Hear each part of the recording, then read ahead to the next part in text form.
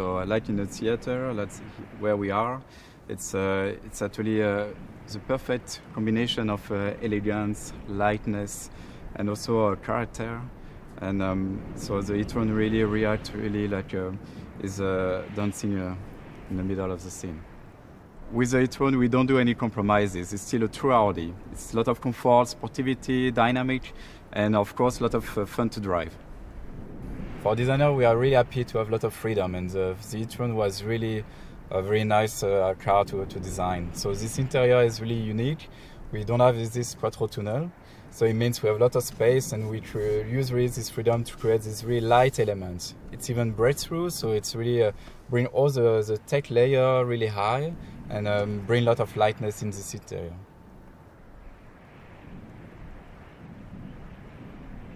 The difference of uh, our 3D premium sound system from Bang & Olufsen is that we break the walls of our small car cabin because we can reproduce a concert hall in our car. For this 3D sound experience, you have to uh, develop a special algorithm. We did this together with Fraunhofer Institute, the inventor of the MP3 algorithm.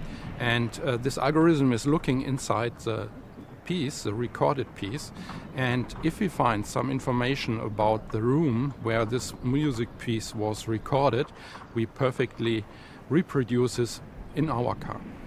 The effort to develop the sound system in an Audi, especially in an Audi e-tron, is huge. Um, we cannot take uh, standard pieces and just put it into the car.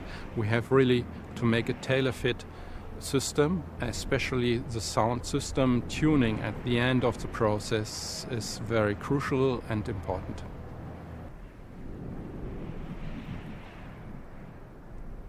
The biggest challenge is that we have no combustion engine and that the wind noise and the, the road noise is much more in focus for the passenger.